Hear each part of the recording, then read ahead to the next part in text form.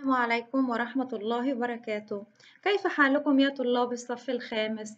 أتمنى أن تكونوا جميعا بخير.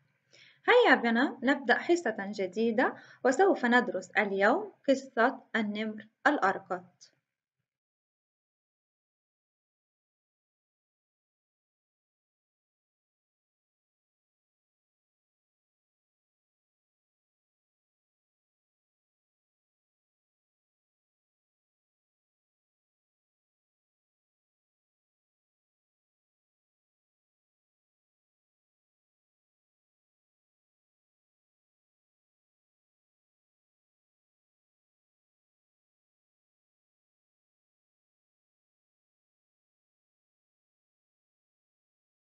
هيا بنا نتعرف على خطوات درس اليوم تهيئة من الشخصية الرئيسة في القصة؟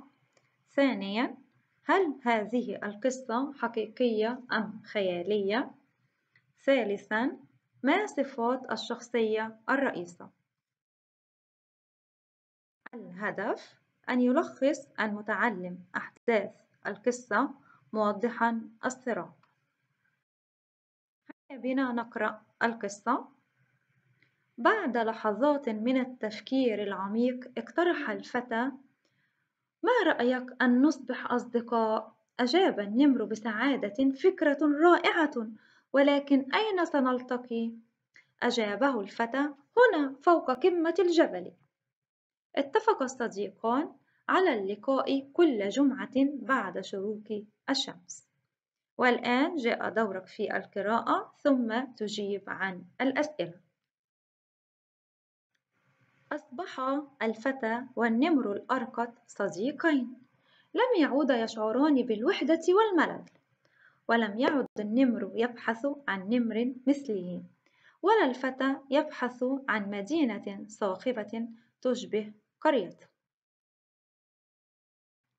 إلى أن سمع الفتى عن محمية طبيعية قريبة تعيش فيها أصناف عديدة من الحيوانات البرية ومنها النمور العربية المرقطة. فرح كثيرا وقرر أن يخبر صديقه النمر حين يراه في المرة القادمة ولكن إذا وجد صديقه نمورا تشبهه سيتركه حتما فكر الفتى وقرر ألا يخبر صديقه عن المحمية.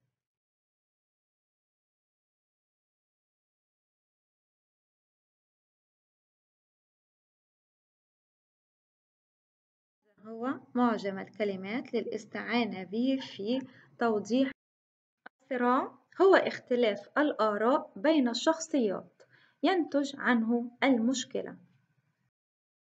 يجب ما الصفات التي يجب أن يتحلى بها الأصدقاء؟